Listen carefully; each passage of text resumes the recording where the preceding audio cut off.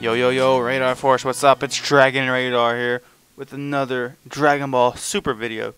Today, I will be explaining the differences in the Battle of Gods movie English dub compared to the English dub of Dragon Ball Super in the anime. So, without further ado, let's get into this with our differences. There are some obvious differences from the movie to the anime, and I'm going to start it with this one. First off, the biggest difference from the movie to the anime is Bulma's birthday location. Obviously, it's in the movie, it's at Capsule Corp, and in the anime, they're on a cruise line ship. That's pretty obvious, but I would say that the anime gets the win on this difference. So, on to the next difference. the next point I would like to make is in the movie, Goku went straight to Super Saiyan 3, and in the anime, he went from Super Saiyan 1 to 2, and then to 3. This made the fight on King Kai's planet last longer in the anime, but it didn't do no justice. The fight in the movie was way better. So I would definitely give the movie the win for this difference, mainly because the animation was better.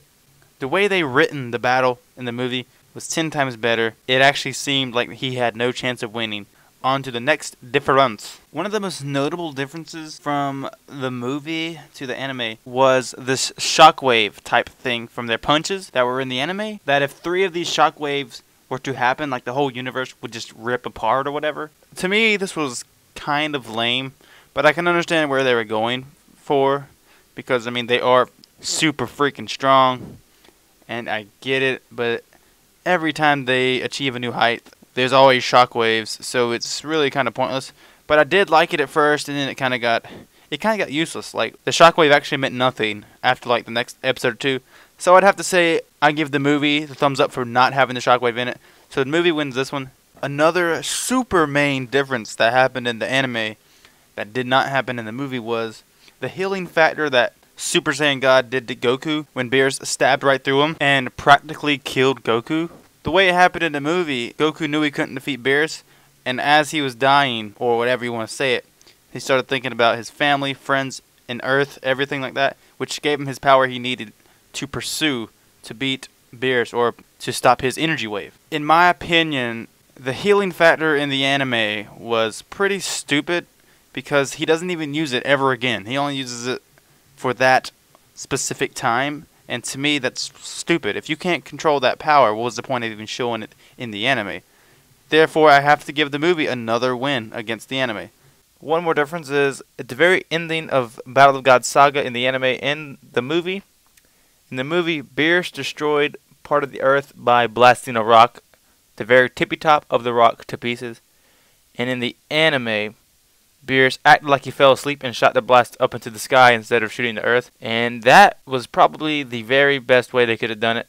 The reason this was so great is because this whole time Beerus was talking about destroying the earth and he never takes back any of his words. If he says it, he does it. And the reason he had to fall asleep was because of his pride. He was so prideful, he had to fall asleep to make an excuse to not destroy the planet.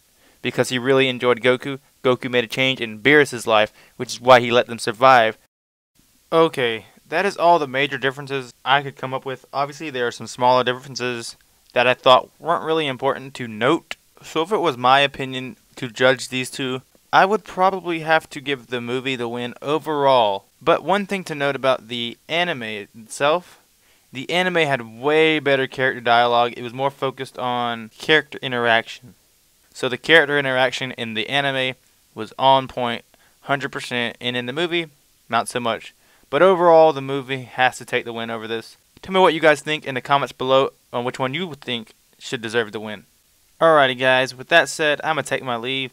So if you haven't already, subscribe for more content, leave a like on this video, and comment below tell me what you think.